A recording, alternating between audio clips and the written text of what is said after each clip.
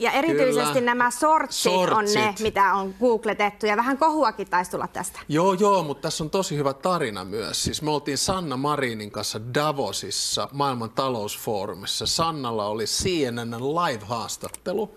Farid Zakaria haastatteli, näki mut yleisössä, kun ne puhuu kohuista. Että Alex, sullakin oli ne sortsikohut. Heti siltä istumalta Sanna sanoi, että joo, joo, mutta mun sortsit oli lyhyemmät.